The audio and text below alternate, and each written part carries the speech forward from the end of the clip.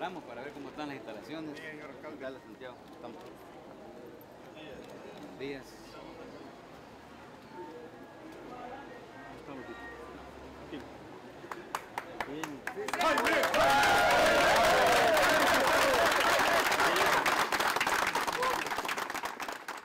Jaime Lindo, el nuevo alcalde de Soyapango, fue recibido con aplausos en su primer día de trabajo, pero además del apoyo, recibió deudas de la antigua gestión. Estamos revisando lo que en cuanto asciende la deuda, pero sí son millonarias, no son... ¿Aproximadamente? solo, solo bancaria hemos encontrado más de 2 millones de dólares y ya te imaginas, los, hay una cantidad de proveedores que anda por más de 600 mil dólares y, otras cuentas más que no están todavía auditadas, pero que en el transcurso de, nuestro trabajo investigativo se hará conocer. Tal y como lo anunció semanas atrás, la campaña de limpieza inició en la alcaldía. Según explicó, la labor en el resto del municipio será programado para realizarse en los próximos días. Mientras tanto, espera solucionar el problema de la basura.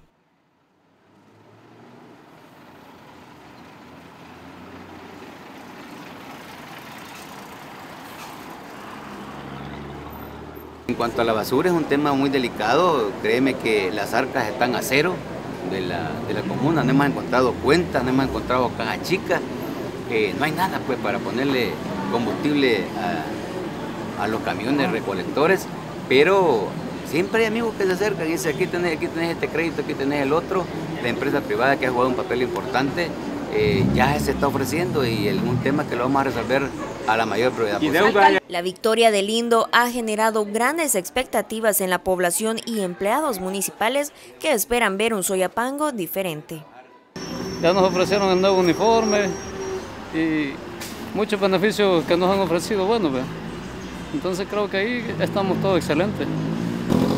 Yo pienso que vamos a marchar bien, vamos a marchar de la mano porque los señores han llegado de lleno a trabajar con nosotros de la mano. ¿verdad? No, como no estoy yo al tanto de ellos, ¿verdad?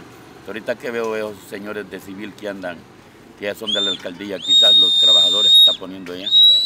Pero los de camisa roja, que andaban con camisa roja, no, no, no, se, han, no se han hecho presentes los que andaban de camisa roja antes y venían poco? De, de, de, cuando en veces, de vez en cuando porque lo que hacía el basurero, cuando eso se puso ahí, decía no botar basura ahí, entonces la aventaban al otro lado. Y todo eso ahí ha quedado, pues, aterrado todo eso ahí. Habrá de, conocerle sus su proyectos que trae, ¿verdad? Espero que sean mejores todavía para la población, porque ellos deben enfocarse en la población.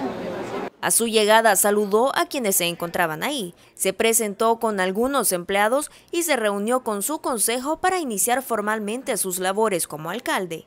El cambio de mandato luego de tres periodos consecutivos con el FMLN despertó incertidumbre entre los empleados. Ante esto, Lindo asegura que todo será conforme lo manda la ley. la verdad es que se, que se tranquilicen, no han hablado conmigo, siempre así, yo he sido un hombre por naturaleza que, que ha consensado, soy muy calculador, no venimos a volar cabezas, como decimos eh, en buen salvadoreño, eh, pues aquí la ley ya determina quiénes se van y quiénes se quedan.